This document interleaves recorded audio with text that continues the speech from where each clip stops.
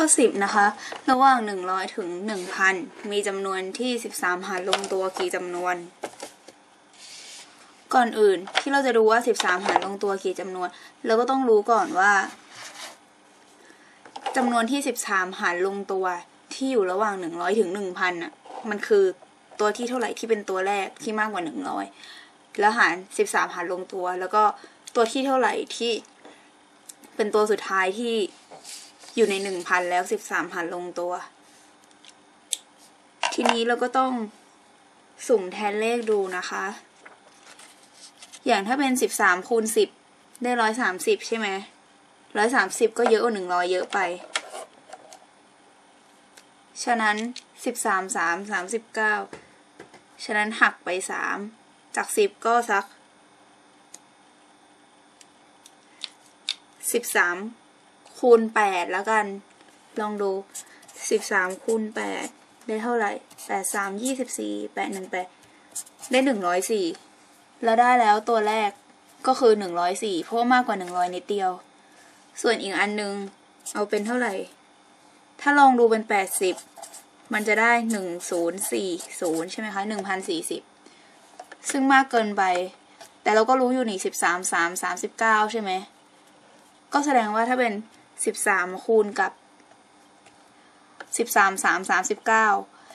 หักไปสามจากแปดสิบเหลือเจ็ดสิบเจ็ดมันจะได้เป็นหนึ่งพันหนึ่งฉะนั้นเราก็เลยเอาเป็นสิบสามคูณกับเจ็ดสิบหก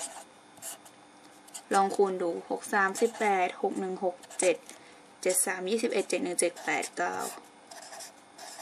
ก็จะได้เก้าร้อยแปดสิบแปด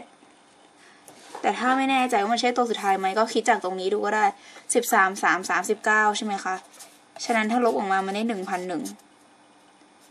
เนี่ยสิบสามคูณเจ็ดสิบเจ็ดจะเป็นหนึ่งพันหนึ่งฉะนั้นจะต้องเป็นสิบสามคูณเจ็ดสิบหกฉะนั้นเราก็เขียนว่าจำนวนที่อยู่ระหว่างหนึ่งร้อยถึงหนึ่งพันที่สิบสามหารลงตัวคือ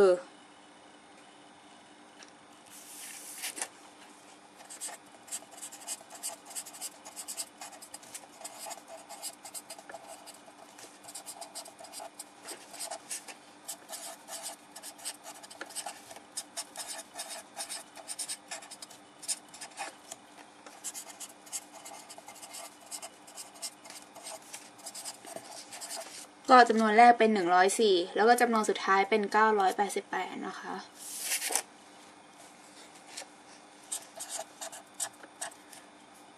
ก็เขียนตัวอย่างให้เขาบวกไปอีกสิบเจ็ดจะเป็น อะ บวกไปอีกสิบสามจะเป็นหนึ่งร้อยสิบเจ็ด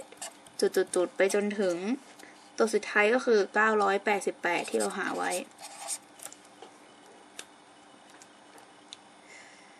จากตรงนี้ ดีคือเท่าไหร่คะดีจะเป็นสิบสามเพราะว่ามันจะเป็นสิบสามหารลงตัวกี่จำนวน แต่ละอันก็เลยต่างกันสิบสามก่อนอื่นก็เห็นแล้ว a หนึ่งเท่ากับหนึ่งร้อยสี่แล้วก็ d เท่ากับสิบสามได้ข้อมูลมาครบแล้ว ก็ขึ้นเลย a n เท่ากับ a หนึ่งบวก n ลบหนึ่งคูณ d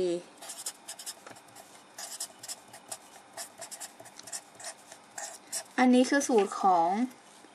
อนุกรมเลขคณิตนะ จะใช้สูตรนี้เสมอ an คือ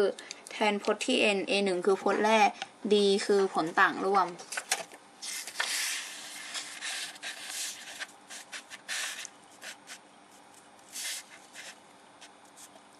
จากตรงนี้ an เราก็รู้อยู่แล้วว่า an คือ ตัวสุดท้ายของเราก็คือ 988 เราอยากรู้ว่าตั้งแต่หนึ่งร้อยสี่ถึงเก้าร้อยแปดสิบแปดเนี่ย มีทั้งหมดกี่พจน์ ก็เลยให้ an เป็นเก้าร้อยแปดสิบแปดแล้วพจน์แรกก็คือหนึ่งร้อยสี่บวกกับ n ลบหนึ่งคูณ d d คือสิบสามก็ได้ว่าเก้าร้อยแปดสิบแปดเท่ากับหนึ่งร้อยสี่บวกกับสิบสาม n ลบสิบสาม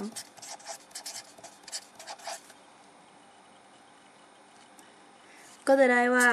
13n เท่ากับ 988ลบ104 บวก 13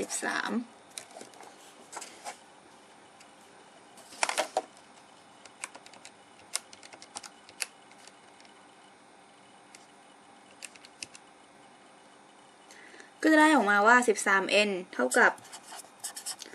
897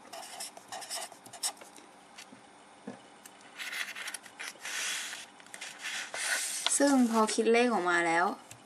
เอา 13 ไปหาร จะได้เป็น n เท่ากับ 69 เพราะฉะนั้นเราก็รู้แล้วว่าจำนวนที่อยู่ระหว่าง 100 ถึง 1,000 ที่ 13 หารลงตัวมีทั้งหมด 69จำนวน ก็เขียนสรุปว่าจำนวนที่อยู่ระหว่าง หนึ่งร้อยถึงหนึ่งพัน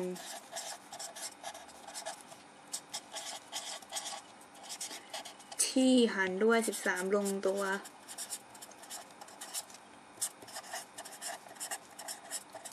มีทั้งหมดหกสิบเก้าจำนวน